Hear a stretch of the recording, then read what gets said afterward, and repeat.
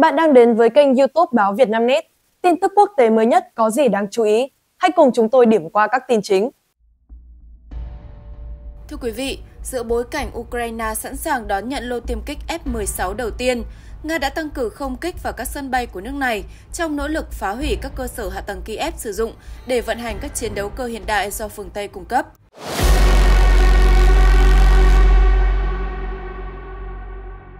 Theo Asian Times, một số báo cáo ghi nhận việc hạm đội Biển Đen của Nga đã tấn công vào các cơ sở hạ tầng của Ukraine, trong đó có sân bay Vasikov gần Kiev hôm 22 tháng 6, sử dụng tên lửa hành trình Kalib phóng từ biển.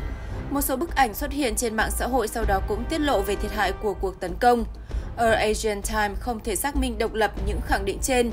Tuy nhiên, theo các báo cáo, một số nhà quan sát quân sự cho rằng đây dường như là chiến lược của Nga nhằm làm giảm khả năng chiến đấu của lực lượng vũ trang Ukraine bằng cách phá hủy các sân bay và căn cứ đặt tiêm kích F-16. Trước đó, Nga đã tiến hành các cuộc tấn công tên lửa vào Starokostiantinivka ở khu vực Khmelnytsky, được cho là nơi đặt một căn cứ không quân lớn của Ukraine và sẽ chứa các tiêm kích F-16 khi chúng được chuyển giao. Nga đã nhiều lần đe dọa tấn công bất cứ sân bay nào của Ukraine đặt các tiêm kích F-16. Gần như tất cả các sân bay chứa chiến đấu cơ này đều nằm trong tầm bắn của tên lửa Nga. Ukraine dự kiến sẽ nhận được các tiêm kích F-16 từ Đan Mạch trong những tuần tới. Ngoài ra, Hà Lan, Na Uy và Bỉ cũng cam kết cung cấp cho Kiev tiêm kích này. Một số quốc gia thậm chí đề xuất Ukraine có thể sử dụng các chiến đấu cơ F-16 để tấn công vào sâu trong lãnh thổ Nga. Trong khi đối phó với các cuộc không kích liên tục từ Nga, Ukraine cũng tiến hành các cuộc tấn công nhằm phá hủy các hệ thống phòng không của Moscow trước khi các tiêm kích F-16 đến nơi.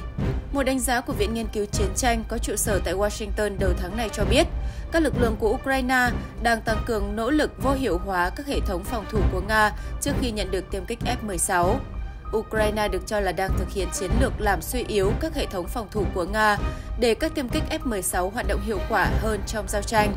Phân tích của Viện Nghiên cứu Chiến tranh cũng chỉ ra những hoạt động quân sự gần đây của Ukraine nhằm vào các cơ sở phòng không then chốt của Nga. Một số hình ảnh cho thấy những hệ thống phòng không hiện đại, chẳng hạn như S-300 và S-400, đã bị các UAV của Ukraine tấn công.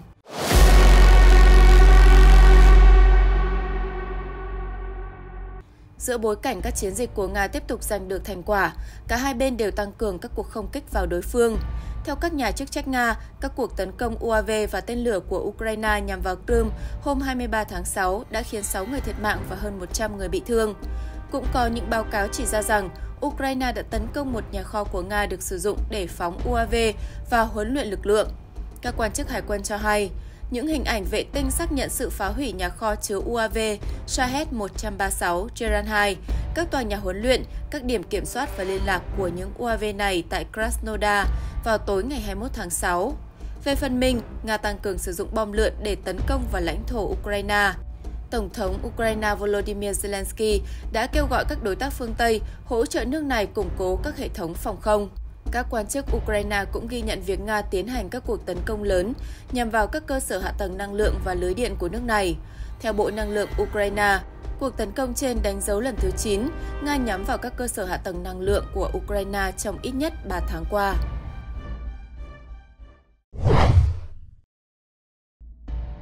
Thưa quý vị, hai thành viên NATO là Đan Mạch và Hà Lan đã cho phép Ukraine sử dụng tiêm kích F-16 do những nước này cung cấp để tấn công vào các mục tiêu quân sự ở Nga. Hiện chưa rõ Ukraine có ý định làm như vậy hay không, nhưng cũng không rõ tuyên bố của Đan Mạch và Hà Lan có nghĩa là F-16 có thể bay vào không phận Nga để tấn công hay chỉ có đạn dược phóng từ tiêm kích này được đánh vào các mục tiêu trên đất Nga. Khi xung đột Nga-Ukraine bùng phát vào tháng 2 năm 2022, các nước phương Tây cung cấp vũ khí cho Ukraine nhưng ngăn cản Kiev tấn công mục tiêu quân sự bên trong lãnh thổ Nga. Điều này tạo cho Moscow một không gian an toàn để tiến hành các cuộc tấn công, khiến Kiev gặp bất lợi lớn. Các nhà phân tích mô tả tình huống của Ukraine giống như phải chiến đấu với một tay bị trói sau lưng. Tuy nhiên, một số đối tác đã thay đổi cách tiếp cận trong vài tuần qua, cho phép Ukraine sử dụng vũ khí viện trợ để tấn công vào lãnh thổ Nga. Đan Mạch là quốc gia đầu tiên cho phép Ukraine sử dụng tiêm kích F-16 theo cách như vậy, tiếp sau đó là Hà Lan. Việc được phép không có nghĩa là Ukraine sẽ làm điều đó. Các chuyên gia quân sự cho rằng đây có thể không phải là cách sử dụng F-16 tốt nhất đối với Ukraine, ít nhất là vào lúc này.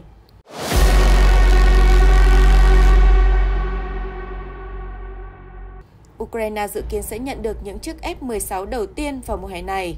Ông Jacques Barros, chuyên gia quân sự tại Viện Nghiên cứu Chiến tranh có trụ sở tại Mỹ cho rằng, việc sử dụng máy bay chiến đấu do Mỹ sản xuất để tấn công vào lãnh thổ Nga vào thời điểm này không có nhiều ý nghĩa về mặt quân sự. Ông Barros nói, bay càng gần biên giới và đi càng sâu vào lãnh thổ Nga sẽ càng nguy hiểm, và Ukraine có nguy cơ mất cả máy bay chiến đấu hiện đại lẫn phi công giàu kinh nghiệm mà không dễ dàng thay thế. Việc Ukraine được sử dụng vũ khí phương Tây để tấn công Nga là một cú hích lớn cho Kiev, nhưng chưa hẳn đã là tốt nhất đối với phi đội F-16 với số lượng ít ỏi trước mắt. Ông Mark Kansian, một đại tá thủy quân lục chiến đã nghỉ hưu và là chuyên gia chiến lược quốc phòng tại Trung tâm Nghiên cứu Chiến lược và Quốc tế cũng cho rằng Ukraine sẽ để các máy bay F-16 cách xa tiền tuyến nhằm tránh vòng vây của phòng không Nga. Những chiếc F-16 khi được trang bị tên lửa chống bức xạ như AGM-88 HARM có thể được sử dụng để nhắm vào lực lượng phòng không Nga trong các nhiệm vụ trấn áp và tiêu diệt, nhưng đó sẽ là những hoạt động đầy thách thức và nhiều rủi ro.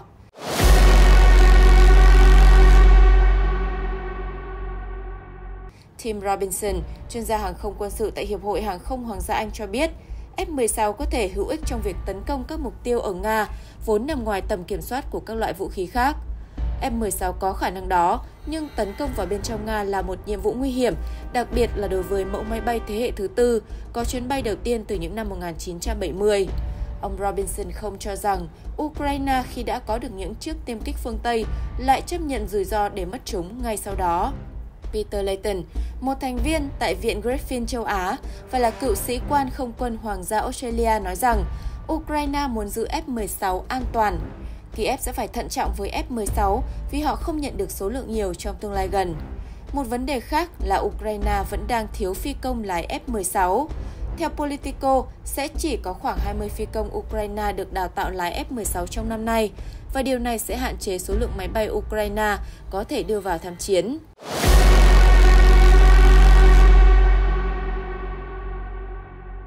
Một số chuyên gia nhận định Ukraine sẽ không để F-16 bay vào không phận Nga vì như vậy sẽ rất nguy hiểm.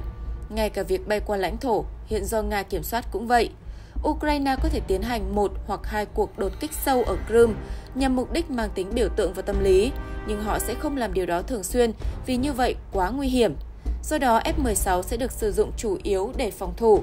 Chúng sẽ được sử dụng ở xa mặt trận, thực hiện nhiệm vụ bảo vệ các thành phố và cơ sở hạ tầng khỏi máy bay không người lái và tên lửa của Nga. Dù vậy, Ukraine vẫn có thể dùng F-16 tấn công vào các mục tiêu ở Nga. Kiev có thể làm điều đó mà không cần phải đưa máy bay vào không phận đối phương.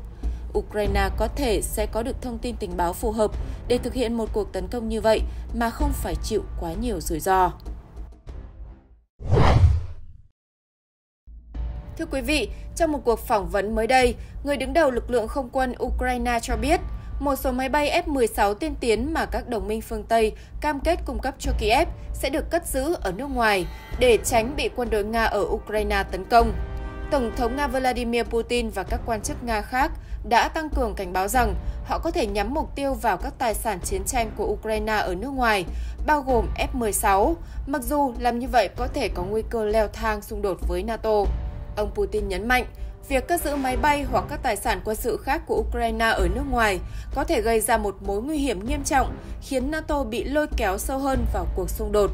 NATO và các nhà lãnh đạo của các nước thành viên, trong đó có Thủ tướng Đức Olaf Scholz, gần đây nhất vào ngày 2 tháng 6, đã nhiều lần cảnh báo rằng họ sẵn sàng bảo vệ từng mét vuông lãnh thổ của Liên minh. Người đứng đầu Ủy ban Quốc phòng của Duma Nga, Andrei Katapolov nhắc lại cảnh báo vào tuần trước rằng các căn cứ của NATO chứa máy bay F-16 của Ukraine sẽ được coi là mục tiêu hợp pháp.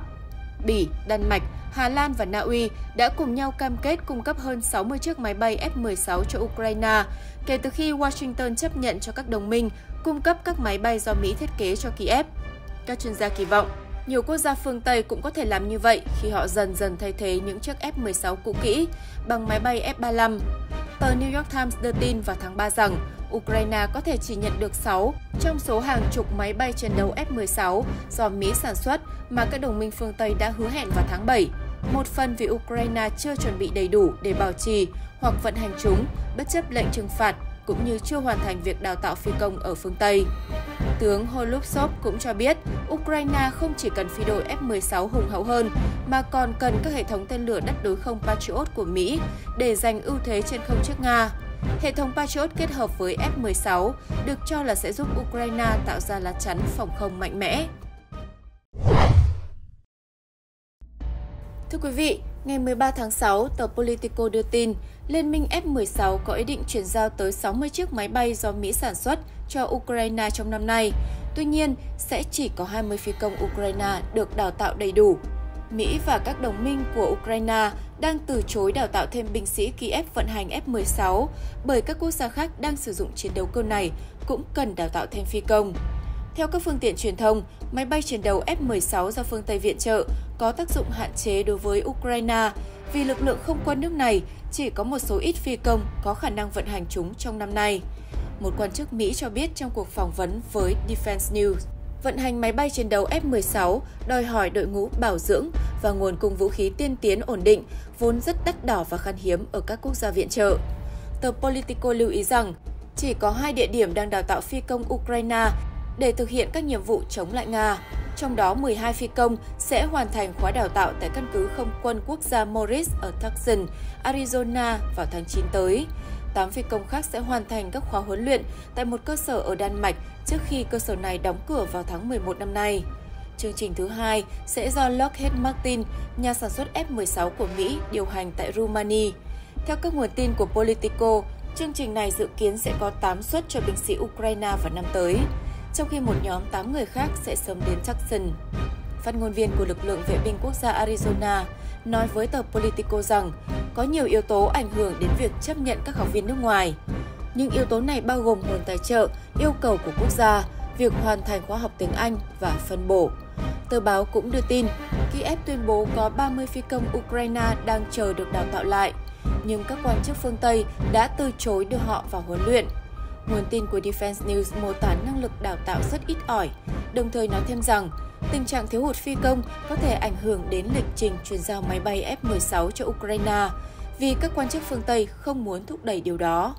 Về phần mình, Moscow cho rằng việc các quốc gia phương Tây cung cấp vũ khí cho Ukraine sẽ không thay đổi kết quả của cuộc chiến và có thể gây ra sự leo thang ngoài ý muốn, kéo các quốc gia viện trợ trở thành bên tham gia vào cuộc xung đột Tuần trước, nhà lập pháp cấp cao của Nga cảnh báo rằng nước này sẽ trả đũa bất kỳ căn cứ nào được F-16 sử dụng để thực hiện các nhiệm vụ chiến đấu của Ukraine, bất kể chúng nằm ở đâu.